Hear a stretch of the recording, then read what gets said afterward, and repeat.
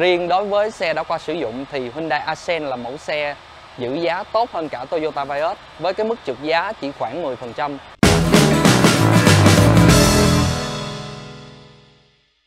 Vậy thì ngày hôm nay anh Thiện sẽ giới thiệu cho như dòng xe gì ạ?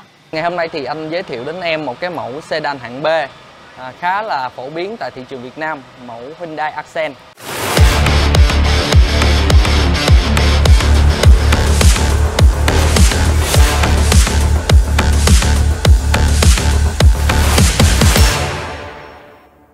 À, thì chiếc xe này nó thuộc đời 2018 thì à, hiện tại trên cái à, chợ tốt xe thì cái mức giá trung bình của mỗi xe này nó rơi vào khoảng 468 cho đến 528 triệu đồng sau Dạ. 2 năm sử dụng. Sau 2 năm sử dụng vậy thì cái với cái mức giá này thì nó chiếm nó nó đã giảm hơn cái mức giá ban đầu khoảng bao nhiêu phần trăm anh hả? À, theo anh nghĩ thì cái mức giá này nó ờ, giảm khoảng 10% so với giá trị ban đầu của chiếc xe. Thì ờ, như em cũng biết thì trong cái phân khúc này Hyundai Accent nó cạnh tranh với Toyota Vios và Toyota Vios là một cái mẫu xe có thể nói là bán chạy nhất trên- trên thị trường. Nhưng mà riêng đối với xe đã qua sử dụng thì Hyundai Accent là mẫu xe giữ giá tốt hơn cả Toyota Ừ. Vios với cái mức trượt giá chỉ khoảng 10%. Trong khi đó thì Toyota Vios khoảng 12%. Vâng nhìn sơ thì qua thiết kế bề ngoài thì như cảm giác là chiếc xe rất là trang nhã và thiết kế cũng đơn giản nữa vậy thì mình nghĩ là sẽ phù hợp với đại đa số người dùng đúng không ạ? Vậy thì tiếp theo đây mình sẽ cần lưu ý gì về chiếc xe này? À, khi mà chọn mua một cái mẫu xe hạng B như uh, Hyundai Accent đây thì chúng ta với bất kỳ một cái mẫu xe nào đã qua sử dụng thì chúng ta cũng nên quan tâm qua cái bề ngoài của chiếc xe như cái mẫu xe ở đây ngày hôm nay thì anh có thể uh, đánh giá là cái ngoại hình của nó khá là mới và Dạ. hầu như là xe ở đây không có những cái vết chày nào quá đáng kể hết Vậy là mình đánh giá bề ngoài qua lớp sơn đúng không anh? Đúng Qua rồi. lớp sơn đèn xe là Ừ. còn gì nữa anh hả? À, mình cũng có thể à, bước vào bên trong nội thất để mình xem cái vật liệu bên trong nội thất nó về cái độ mới của nó như thế nào thì thường mà chúng ta mua xe mà bị e ngại về cái chuyện là không biết xe này trước đây có chạy dịch vụ hay không hoặc là có bị tua đồng hồ đo hay không thì cái cách đó đối với một người bình thường đi mua xe chúng ta không thể nào mà check được thì chỉ có cách dễ nhất là chúng ta nhìn vào những cái vật liệu ờ, cái độ mới của bề ngoài cũng như bên trong nội thất để mà chúng ta suy đoán được là chiếc xe này đã được sử dụng bao lâu Dạ Thì vâng. nó sẽ Vậy hợp thì lý. chắc là anh Thiện cho Ý Nhi vào bên trong tham quan và mình cùng nói thêm về nội thất bên trong ok ha. chúng ta cùng bước vào bên trong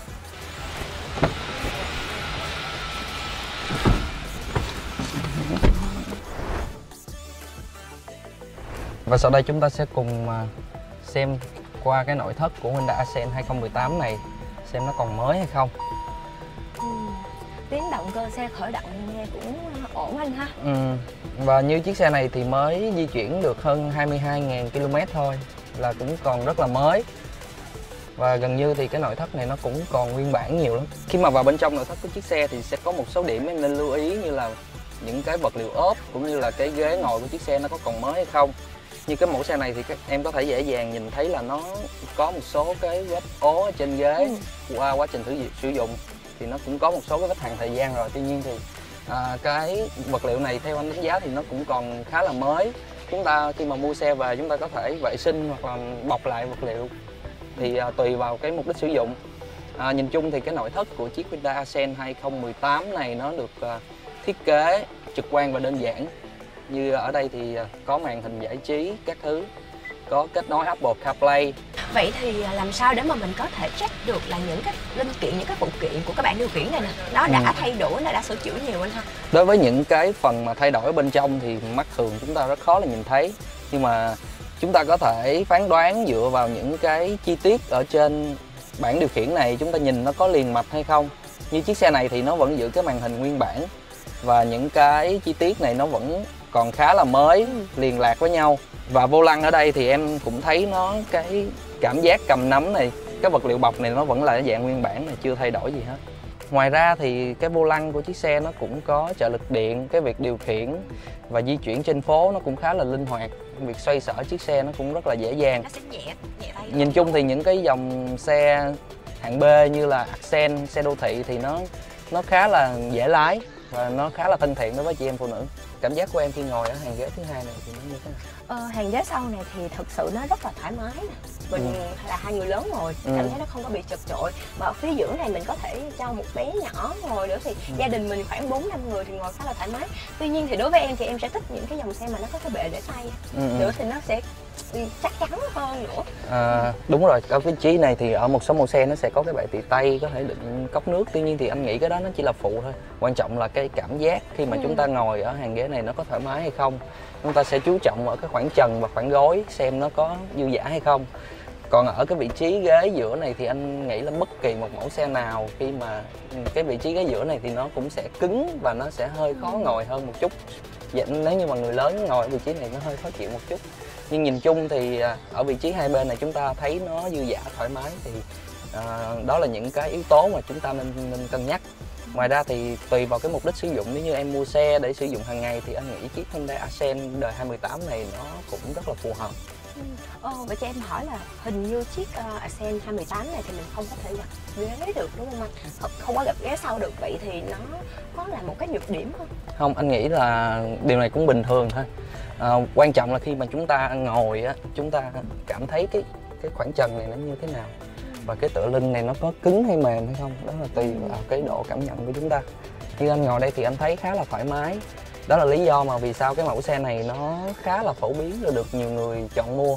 Là do cái không gian nội thất của nó thuộc hàng gọi là rộng theo anh đánh giá là rộng.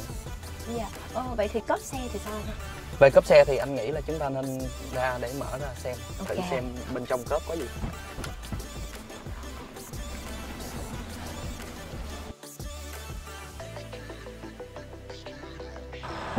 Đối với cái dòng Hyundai Accent 2018 này thì cái phần cốp nó có cái chức năng là mở cốp thông minh. Khi mà chúng ta cầm cái chìa khóa đứng ở đuôi xe và giữ nút mở trong khoảng 3 giây thì cốp xe có thể tự mở lên. Rồi. à, nhìn chung thì cái dung tích cốp của Hyundai Accent 2018 nó khá là rộng.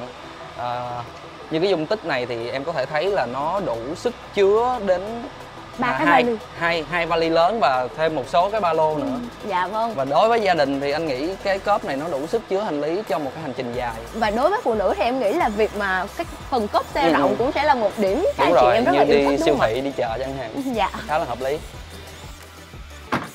và sau khi đã trải nghiệm nhanh mẫu Hyundai Accent 2018 này thì em cảm thấy như thế nào chiếc xe có đáng tiền không Thực sự thì à, anh Toàn Thiện đã giới thiệu thì tất nhiên nó sẽ đáng tiền chứ ạ. Và với riêng cái Nhi thì Nhi cảm thấy là chiếc xe này ờ, ngoài việc là nó đáp ứng được cái nhu cầu là mình di chuyển hàng ngày nè, linh hoạt trên phố ra thì cũng thiết kế cũng rất là phù hợp với đại đa số những gia đình nhỏ và nhất là những ờ, chị em phụ nữ khi mà sử dụng nữa. Và các bạn ơi, các bạn còn muốn Yến Nhi tìm hiểu về dòng xe nào nữa thì nhớ comment cho tụi mình biết nha. Sau 2 năm sử dụng, bạn đánh giá như thế nào về Hyundai Accent 2018 thì hãy để lại ý kiến của mình ở bên dưới. Và đừng quên like, share và subscribe cho kênh của tụi mình nữa. Và tụi mình là Yến Nhi Mình là Toàn Thiện. và hẹn gặp lại các bạn trong chuyên mục mua xe đáng tiền lần sau.